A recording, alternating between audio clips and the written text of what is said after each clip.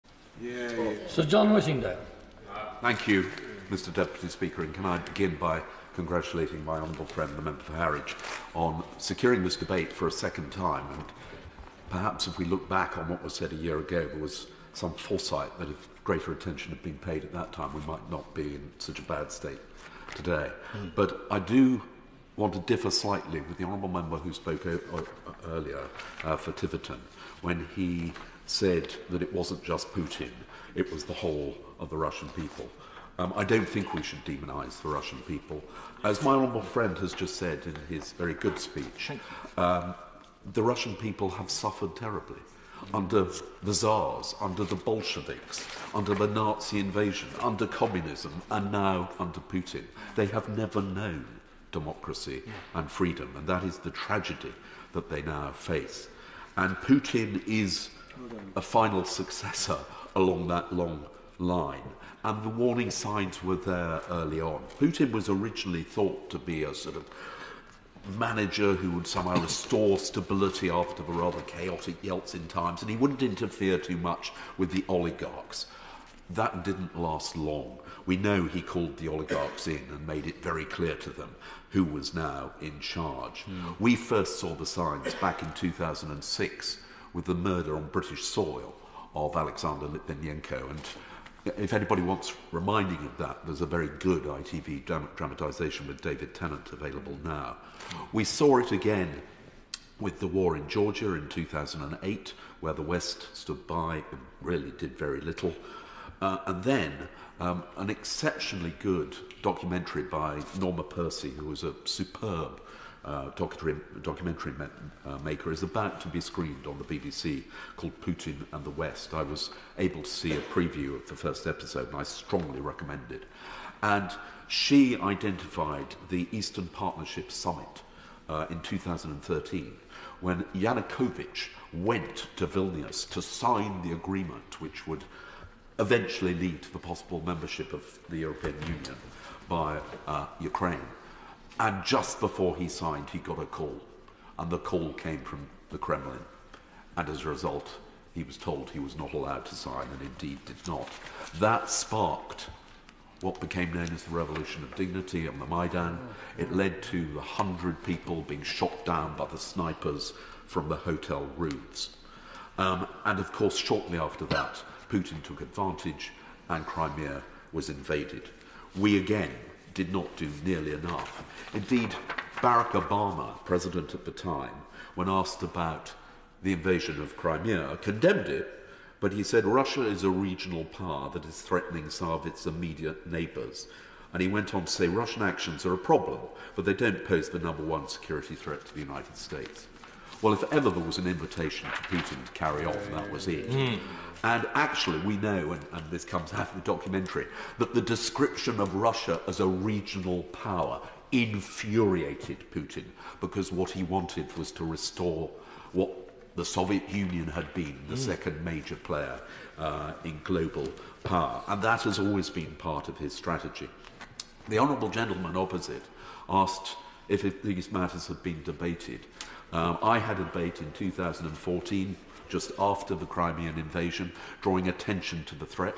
You, Mr Deputy Speaker, actually participated and made some very helpful remarks in that course of that debate.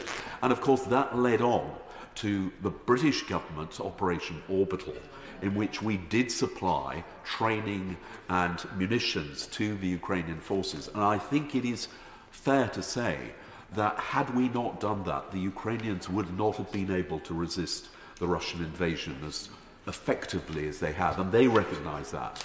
And it, they are very open in paying tribute to this country for the support that we gave them and continue to give them, of course, in Operation Orbital. Uh, and that then led to um, the election in 2019 of President Zelensky, and I went and was an election observer uh, in both rounds of that.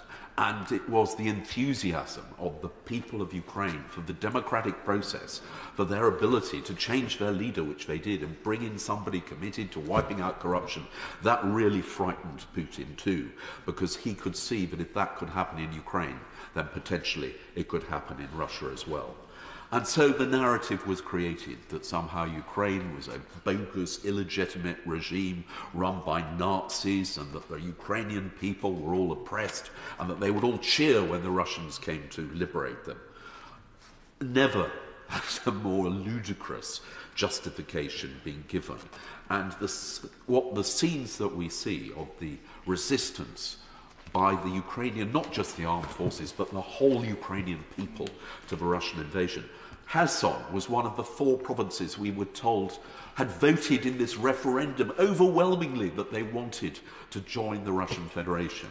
And then we saw the scenes of jubilation on the streets of Kherson when they were liberated by the Ukrainian forces not that long ago. Mm. The truth is that Russia is an authoritarian regime, and I don't just want to talk about Ukraine. We need to help free the Russian people themselves. And I have the privilege of meeting, as I've met before uh, this week, Evgenia Karamurza, who is married to Vladimir Karamurza, who is being held as a political prisoner in Russia. We're told that there are something like 500 political prisoners in Russia. Uh, Mr. Karamerza is slightly different in that he is a British passport holder, and I was disappointed to hear from his wife uh, that she felt the British government could be doing more to campaign uh, and help him to obtain his release. But the other area which I have long followed, as uh, you, Mr. Deputy Speaker, know and others do, uh, is in media freedom. And I just say that this is the conclusion of Reporters Without Borders about Russia that has now fallen even further on their index to 155 out of 180 countries in terms of media freedom.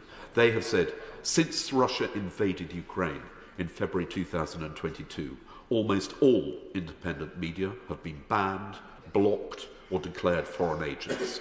All others are subject to military censorship.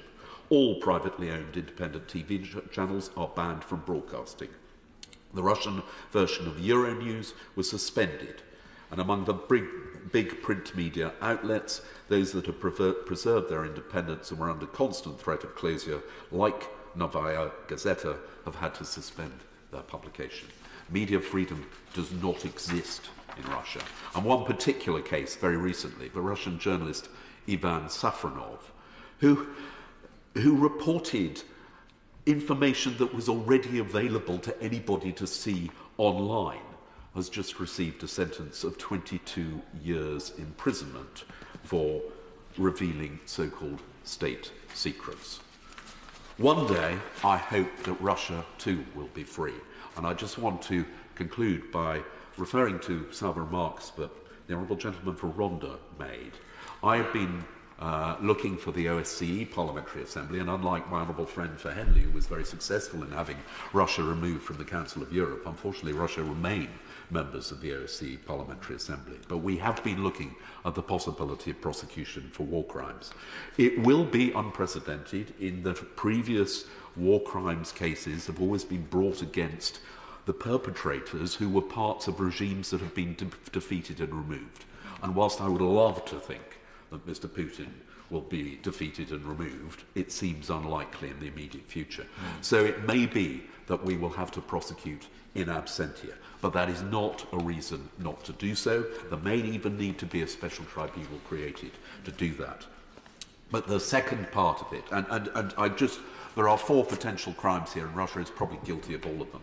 Crimes against humanity, war crimes, genocide, and on genocide, as my old friend my right friend said earlier, we should have recognised Russia's earlier attempt at genocide in Ukraine, the Holodomor. And actually, that showed that there has been a long standing wish to suppress Ukrainian identity, and that could conceivably be called genocide.